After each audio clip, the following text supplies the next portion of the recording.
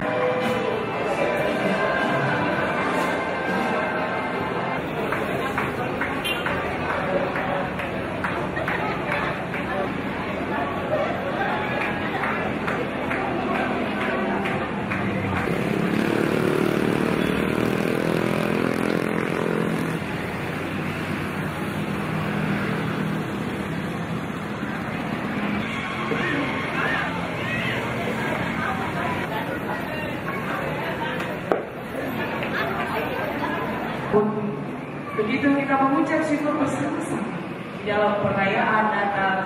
dan perayaan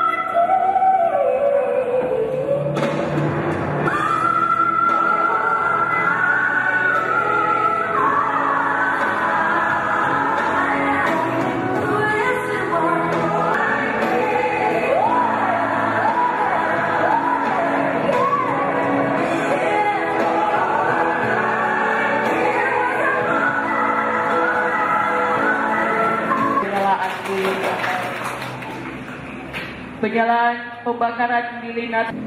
Penyalaan lilin Natal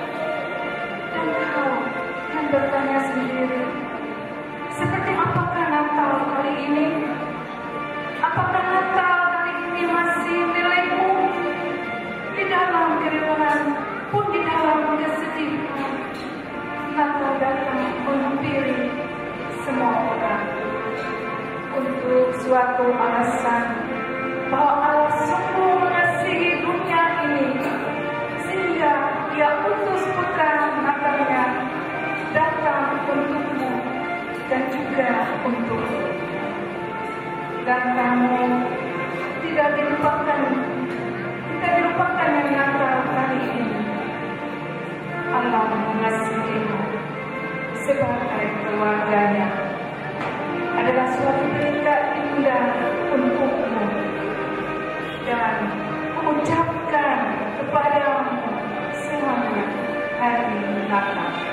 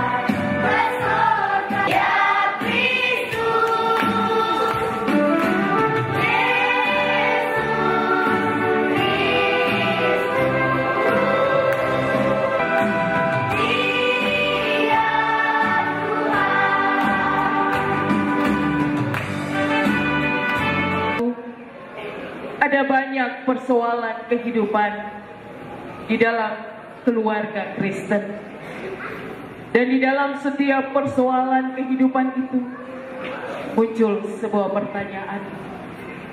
Apakah kita akan bertahan ataukah kita akan terbawa arus kehidupan yang membawa kita jauh daripada Tuhan? Inilah kisah kehidupan keluarga Kristen.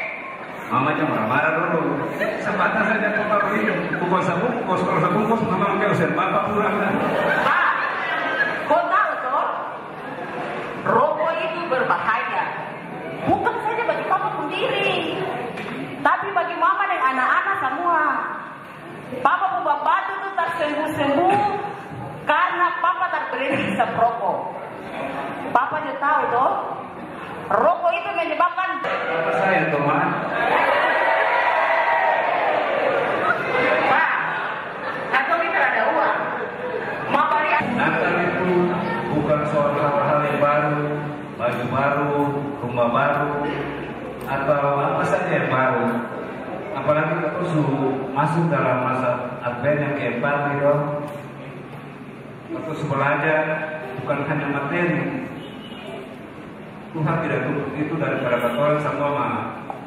Yang Tuhan tuntut adalah pengharapan dan sukacita sambil menunggu Tuhan Yesus datang kembali.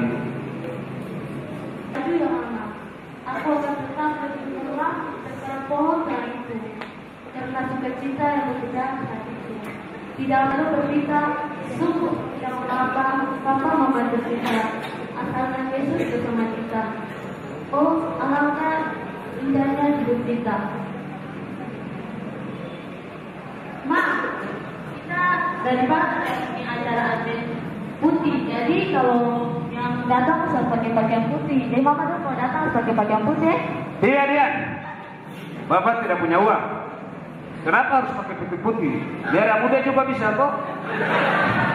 Di Advent sebelum masuk di Natal, kita memasuki minggu Advent itu kita harus koreksi diri sebagai anak, sebagai orang tua. Harus bertobat, minta ampun dari Tuhan supaya pas Natal itu susia untuk menyambut Natal dan dan menyambut Tuhan Yesus datang kedua kali juga. Oh bagus. Kalau gitu nanti papa dan mama ikut sama-sama. Iya. Eh gimana? Papa adalah yang pada suara Pak. Kan?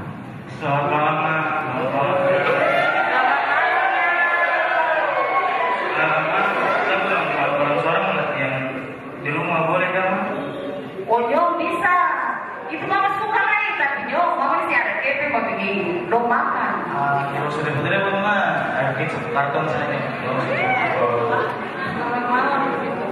Selamat malam Pak.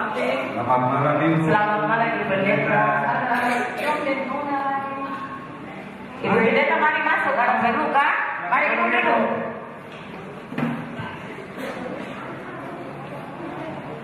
Bapak dan Mama eh, kita kan berdoa untuk Bapak dan Mama sudah pernikahan. Aduh, Ibu sana kapan? Hari pernikahan tanggal 28 November, bukan tanggal 28 Desember Ibu. Ibu, pada kalau udah lama November tuh, kakak cuma masak makanan paling banyak. Makanan majelis ya datang, atau paling apa tetangga-tetangga. Barangkali majelis Jumat kan kasih masih datang sama Papa. Soalnya anggota jemaat. Itulah ibu yang beta heran sampai sekarang ini berbiar tahu bagaimana bagaimana salah saja. Tapi kenapa ini? Karena ibu pendeta sudah kan, ibu pendeta sudah sedikit baru kita dan itu anak-anak semua. Kalau kamu bekerja, atau mau hidup di depan minggu, Saya pikir juga begitu. Sebelum kita membaca firman Tuhan, mari kita berdoa. Untuk itu, jemaat sekalian, kita akan bersama-sama berdoa. Mei, Deki, mari Ibu Pendeta mau berdoa deh ya. Iya, Ma. Saat ini, mari kita berdoa. Ya Allah, Bapak dan keluarga-keluargamu yang Tuhan. Kami akan membaca firman Tuhan. Kami mohon Bapak kuat hidup dan kehidupan kami sehari. Berfirmanlah ya Tuhan, karena kami anak-anakmu sudah siap untuk mendengarkan suara. Amin. Alangkah baiknya dan indahnya apabila saudara-saudara diam bersama dengan rukun.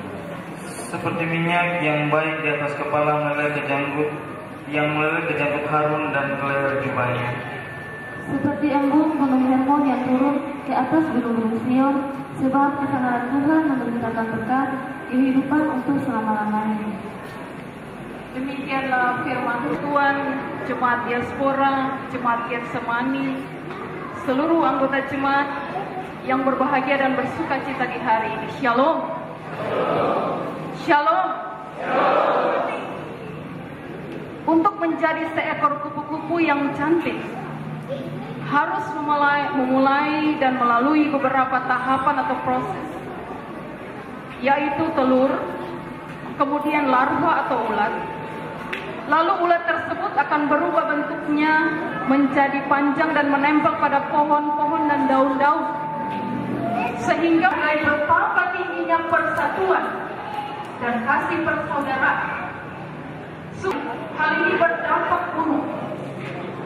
Tetapi karena sekarang mereka bersatu di bawah satu pemimpin, keindahan itu digambarkan dengan minyak yang meleleh dicampur harum dan selena jubah Artinya turun cukup dikasih persaudaraan. Maka di situlah Tuhan mencurah digambarkan dalam satu keluarga. Kalau mengantar kita bagaimana kita memahami masyarakat akan mana dalam drama singkat tadi digambarkan bahwa pakai nampak sebagai keluarga satu beda dengan orang tua zaman saya masih kecil. Merasa yang Yesus Kristus yang dalam kesederhanaan kesederhanaan namun. Tapi setelah merayakan Natal apa yang terjadi yang terjadi adalah kelesuan rohani. Yang saat ini kita punya rohani mulai tumbuh bagaikan bunga yang mekar. Semangat ada di mana-mana. Tapi ketika mulai masuk Januari majelis jemaat tetap pelayanan ibadah ibadah-ibadah sektor mulai kurang. Gedung BC majelis jemaat tidak perlu cari lagi kursi-kursi pinjam sana kemari.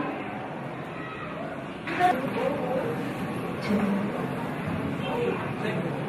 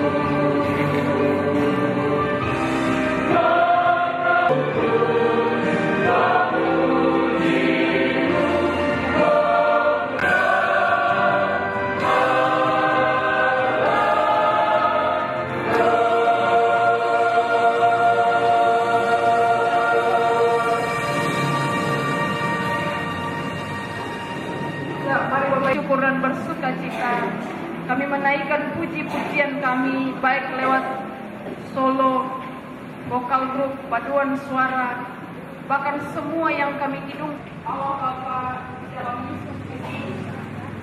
Malam hari ini berdoa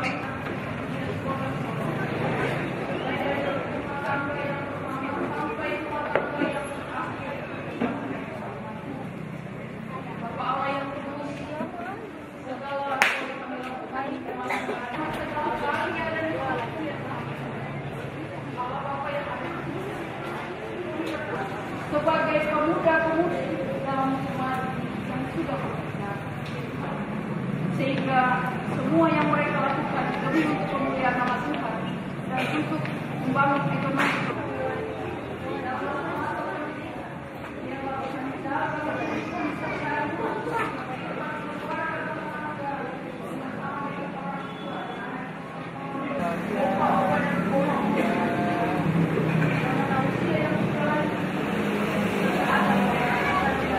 mereka juga yang tidak sempat melanjutkan seperti kesehatan maka di surga memberi penolong bagi kehidupan mereka berjak mereka pun dapat merasakan damai dan sukacita Natal sehingga kehidupan mereka juga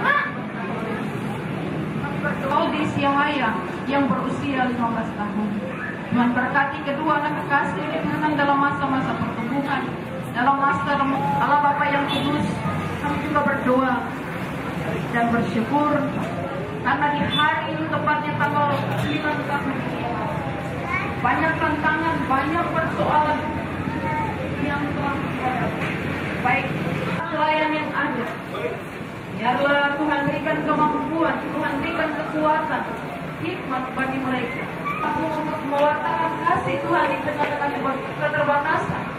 Kasih Tuhan di tengah-tengah kekurangan yang mereka umat seluruh yang program yang telah dirancangkan bersama-sama dengan majelis umat sebagai umatmu kami pun dapat menopang pelayanan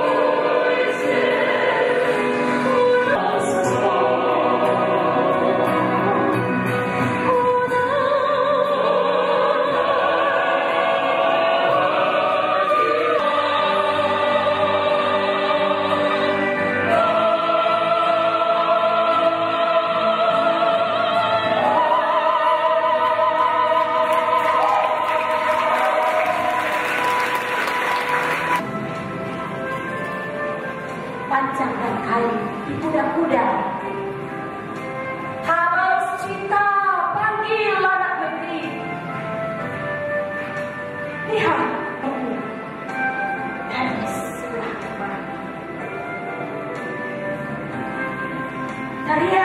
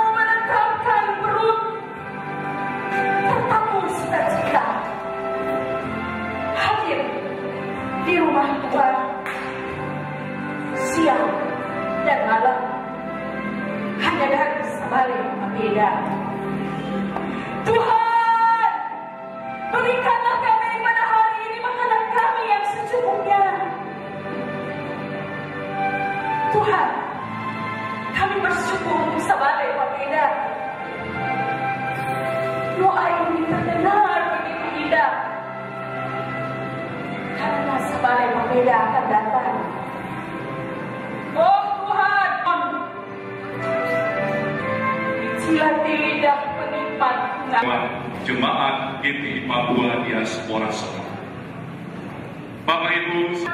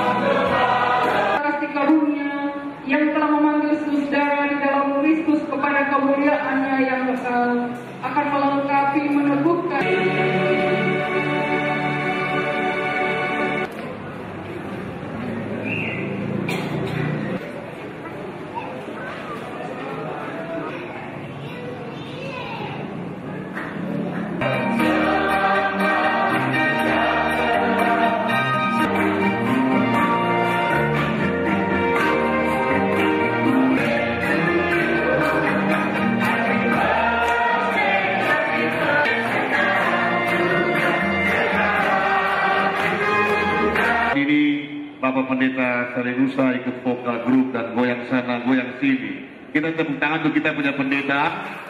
Bangga dan bersuka cita untuk seluruh kreativitas.